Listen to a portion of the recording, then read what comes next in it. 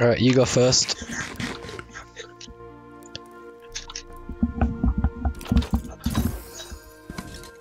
Oh, enchanted golden apple. Breaking one crossbow as well. I'm gonna take these candles, they look cool. They are of mine, I've got some already. Oh! I got the heavy core! What does that do? I've got a bloody mace! Oh! Ah, you know, you just idiot, man. Oh, God. I just lost every all my stuff now.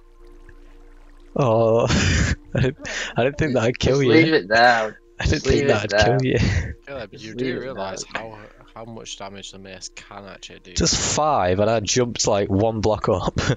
yeah.